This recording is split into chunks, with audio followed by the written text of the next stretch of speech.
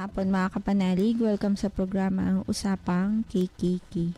Kalusugan, kagalingan, at kagandahan.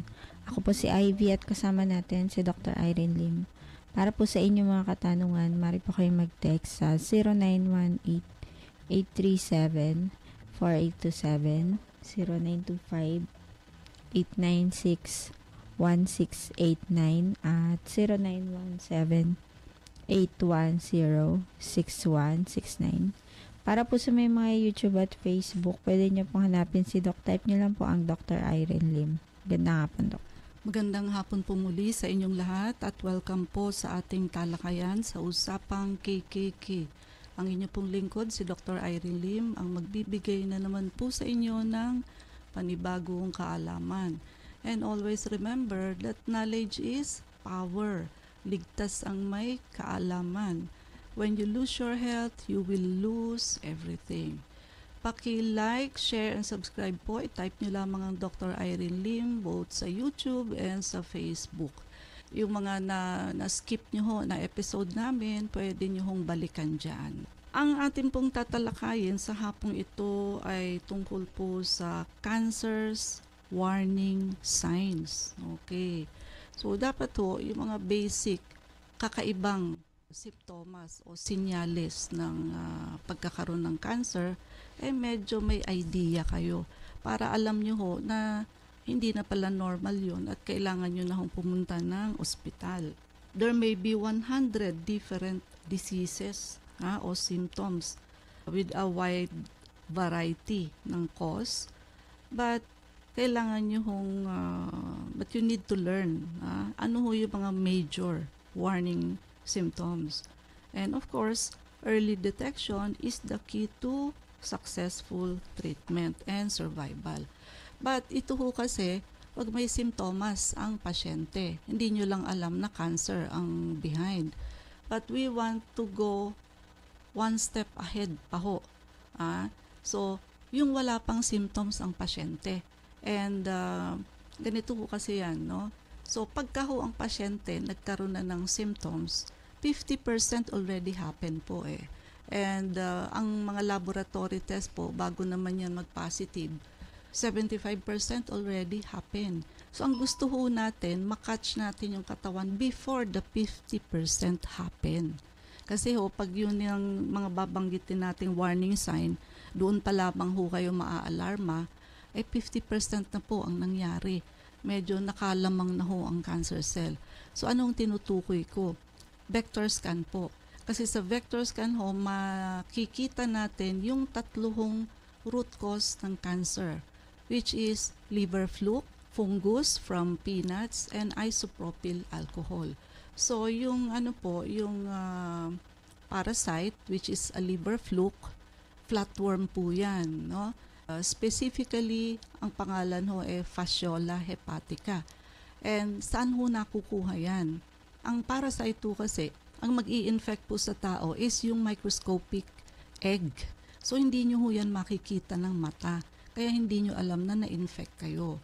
Nakikita ho yan sa vector scan and uh, saan ho nakukuha yung fasciola hepatica? Kapag ka ho meron kayong dog, so ang aso po medyo tinitirhan ho yan ng uh, ng liver fluke. Ah, kasi ho, di ba, they lick their anus ah, after pupo, ah, pasintabi ho sa nagmimerienda. Of course, animals, hindi naman ho yan nagwawash after pupo because they are animals. So, they lick their own anus to clean themselves. Oh, so kung may sumama ho doon na itlog ng ah, parasite, pag-lick ho nila, edi napunta na ho sa tongue. Then yung tangho nila, ililik nila o didilaan nila yung mga fur nila or balahibo nila. Plus, didilaan ho ang owner. Kasi, syempre, naglalambing ho sila, no? Kahit hindi kahalikan o dilaan, pag sinagi-sagi ka ng fur nila, eh meron na rin ho yung balahibo nila kasi nilik na ho nila yun. So, papasok ho sa tao through what? Skin penetration.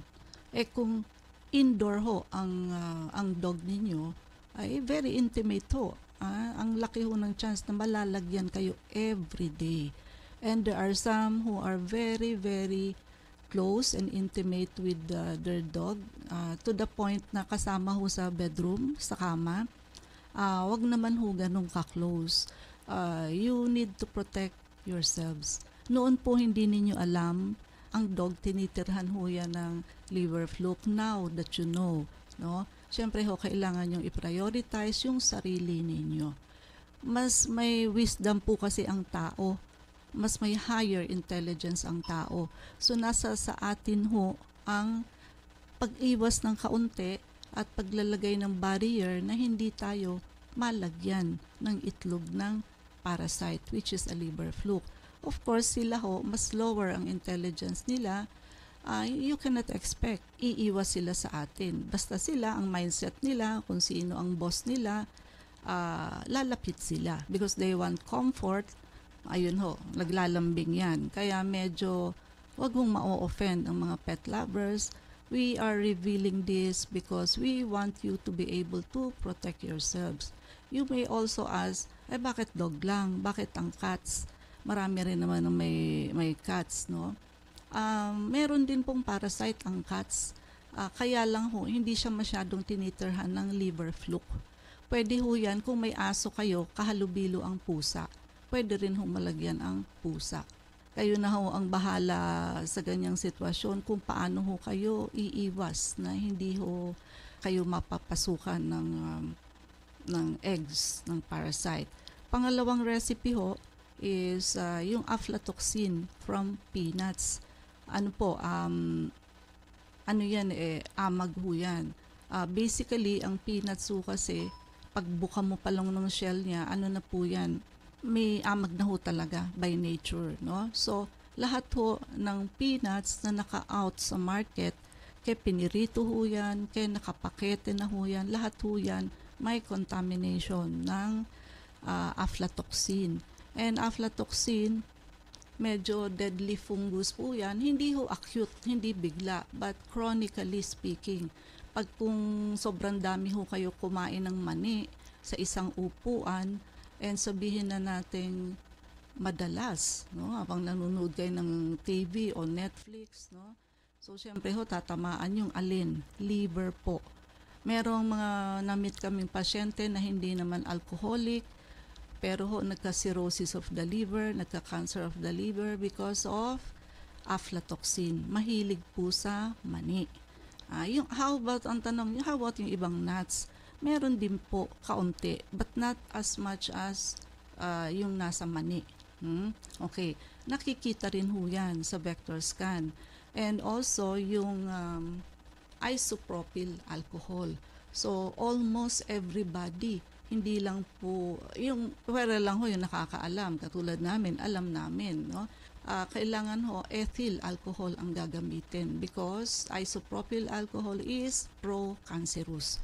Pag nag-vector scan ho kayo, wala pa kayong kahit na anong simptomas, nakitaan namin kayo ng fasciola hepatica, yung amag ho sa mani, and isopropyl alcohol.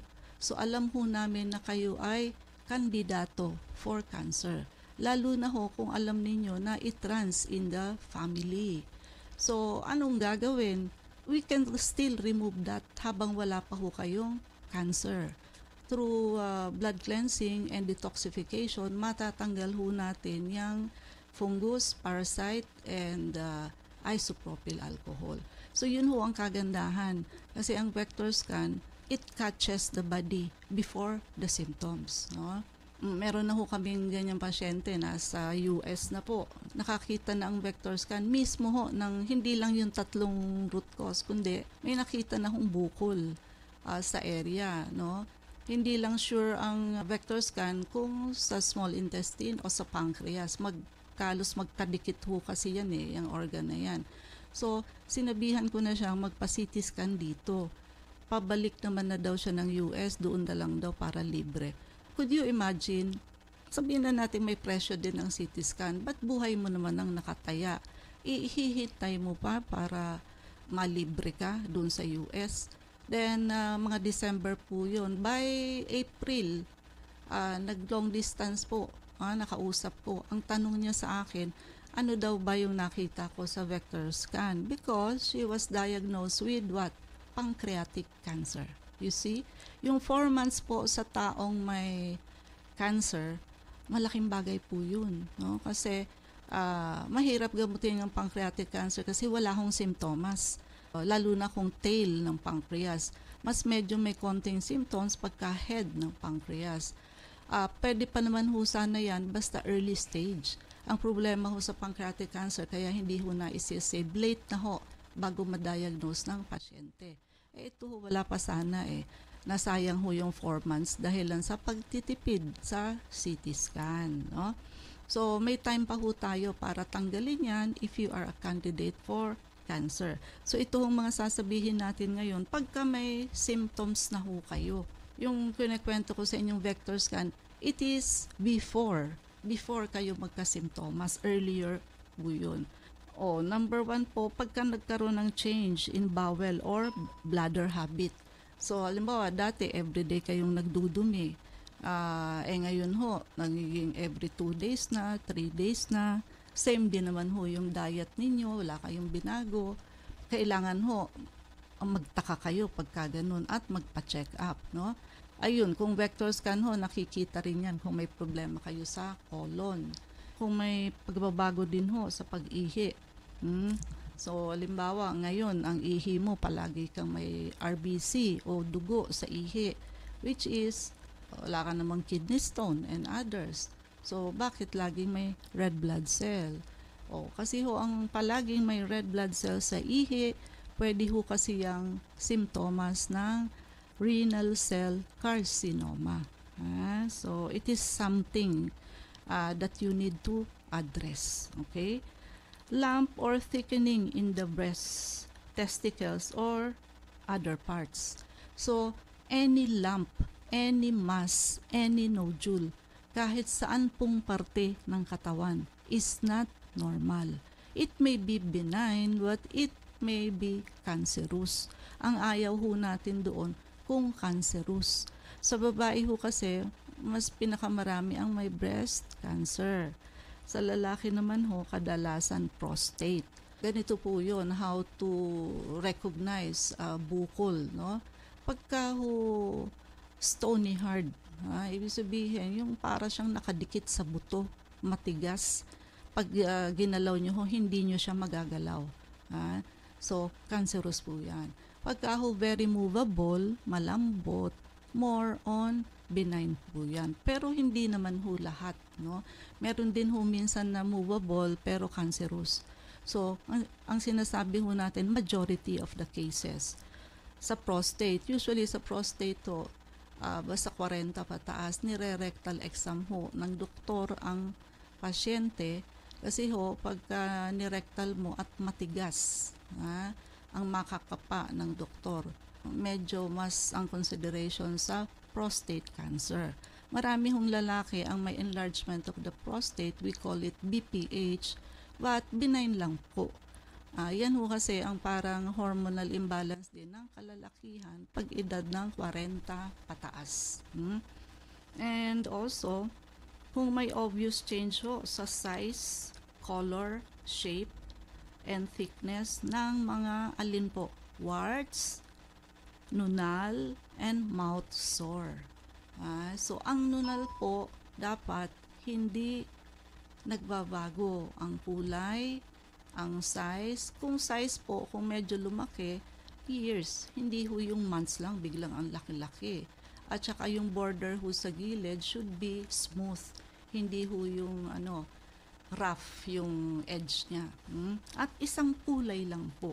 Kung itim, itim. Kung medyo brown, brown. Hindi ho pwede yung itim dito, brown dun sa kabila. Ah, change pong yan, naglilid sa melanoma. Yung cancerous pong klase ng nunal. And yung warts naman din po, pagka ho medyo kakaiba, dermatologist po ang kailangan yung puntahan dahilan sa akala nyo warts, yung pala hindi ho natural na warts. And wag ho kayong pupunta sa ano lang, beauty center lang. Kasi o, syempre gagawin nila i-cauterize. But kung walang dermatologist, hindi niya mare-recognize na yung warts is what? Cancerous. So, i-cauterize lang po yun, no? Ah, yung mga mouth sore, although bihira naman, So, kailangan ho patingin sa doktor pagka may mga changes. And hindi naman ho palagi may mouth sore ang tao. Kung sa buong buhay mo ngayon ka lang nagka-mouth sore and hindi mo malaman kung ano ang root cause, ayan, it is something that you need to address. Or a sore that does not heal. May sugat ho kayo, ang tagal-tagal na ayaw hong gumaling. Hmm? Ah, it is something na kailangan hong i-address at ipa-check up. Naging cough or hoarseness. Yun ho bang ubo na walang humpay or yung ubo na ang tagal-tagal na ininom ng lahat hindi pa rin maalis. Pagkagaral-gal ho ng boses. Ah, bakit? Ang hoarseness of the voice which is more than 2 weeks can be a sign of lung cancer. Ah, isipin nyo, ba't naging lung cancer? Eh, ah, boses ko naman yung nagka-problema, no? It is because yung left laryngeal nerve ho natin naiipit nung bukol sa baga. Kung yung position ng bukol ho is very near left laryngeal nerve, kung saan ho dumadaan yung ah, nerve na yun, no? So, tandaan nyo ho yun, mahirap kasi i-diagnose yun eh. Walang boses, eh, yung pala may lung cancer. Kasi kung iisipin, hindi naman konektado, no? Indigestion or difficulty in swallowing. So, oh, ito I want to clear, no? Ah, may mga tao ho kasing, ang akala nila, ang goiter, nakaka-cause ng hirap, lumunok. Ang thyroid gland ho ninyo sa goiter, nandito sa medyo ibaba, yung parang butterfly ho dyan. Just imi, ah, slightly above ho yung lubog ninyo sa neck. Nandyan po ang thyroid ninyo. So, kung ang thyroid ho ninyo ay wala namang nodule, meron hong may goiter na walang nodule. Mataas lang or mababa lang ang thyroid hormones, pero walang bukol. Or kung meron naman din hong nodules, at ang liit lang po eh 0.3, 0.2, 0.9, or even sabihin natin 1 centimeter. So tingnan ho kung gaano kalaki ang 1 centimeter sa tape measure. It will not cause difficulty of swallowing. Magkakaroon lang ho ng effect sa paglunok ninyo kung ang ano ho ninyo eh bosyo. Yung ibig sabihin, ang laki-laki. Ah, kung kasing size ng kamao, half size ng kamao ninyo. Ayun ho, kahit goiter yon may affect swallowing ninyo. Pero kung yung maliliit ho, it is a different entity. Hindi ho siya ah, dahil sa thyroid nodule ninyo. Lalo na kung walang nodule. Ha? Hindi ho lahat ng goiter ay nahirapan huminga. Madalas sinasabi ng pasyente, minsan nahirapan akong huminga kasi may goiter ako. Ha? Mali po yun. Pagka meron ho kayong um, unusual vaginal or rectal bleeding or discharge, hindi ho normal yun. Pagka may abnormal discharge ho kayo per vagina, lalo na ho kung foul smelling. So, pwede ho ninyong i-rule out STD, uh, sexually transmitted disease, or cervical cancer. Ang may cervical cancer ho, may abnormal discharge. Mga kababaihan, alam nyo naman yung normal na discharge ng babae in between pagka nag-ovulate kayo at hindi. Dapat ganun lang. Pero kung masyadong kada ihi mo, may nakikita kang discharge sa underwear mo and kakaiba, halimbawa kulay nana, no? E, iba yun. Pag ah, ano, uh, foul smelling, iba po yun. Hmm? Ang nagkaka-cervical cancer naman po, eh, ayon sa nasusulat, ah, yung mga early ah, early pregnancy, yung mga early age ng ah, sexual contact, may history ka ng STD, multiple partners, and ibig sabihin mo, marami kang naging boyfriend, lahat may sexual contact. Yung ano po, sexually overuse. Ah, so siguro ho ito sa mga GRO. Ah, ang sperm cell ho kasi ng lalaki, iba-iba ho ang timpla or iba-iba din ho ang meron sila. So medyo naaapektuhan ho yung um, cervix ng babae pag pumapasok ang sperm, no? And uh, of course, kung sa rectal ho, o yung may dugo, yung dumi ninyo, it is not normal. Ah, ang consideration nyo dyan, pwede ho may, may almoranas lang kayo, pwede hong may diverticulitis lang kayo, but pwede rin ho kasing may colon cancer kayo. So, yun po, no? Kaya, ano ho siya, something that you need to address. Persistent headache, yun ho bang ang dalas-dalas na lang pagka ho kayo sinasakitan ng ulo. And minsan wala namang pause, hindi niya naman puyat, hindi naman din sa mata, hindi naman din tension headache. Hmm? Ah, kasi ho, ang danger ng headache is what? Baka ho meron kayong aneurysm. Ha? So, yan, ang may mga cerebral aneurysm, napakadalas hong mag-headache. And ang headache ho niyan, super, super sakit. To the point na gusto mo hong iuntog ang ulo mo sa pader. Ganyan po. Also, yung may mga AV malformation. Usually ho yan inborn. Yun ho bang mali ang pagdudugtong ng arteries and vein mo na wala ho yung in-between na capillaries. Direkta ho dumikit yung artery and vein. Ah, yan ho kasing dalawang yan may tendency to what? Rupture. Baka ho mag-rupture. Eh, excessive bleeding ho yan sa brain. So, and also, ah, yung repeated instances ho ng infection. Yung bang palagi na lang ho balik-balik yung infection ninyo sa ihi, ubo, any kind of infection. Ibig sabihin ho kasi, bagsak na bagsak ho ang resistensya ninyo, no? Persistent low-grade fever. Pwedeng constant or intermittent. Minsan ho, ang may mga bukol sa lungs, may intermittent fever, no? But pwede rin naman hong, kung low-grade fever, pwede namang TB lang ho, no? Usually, um, sa afternoon. And yung may persistent fatigue, nausea, vomiting, ayun ho, yung palagi na lang ganon.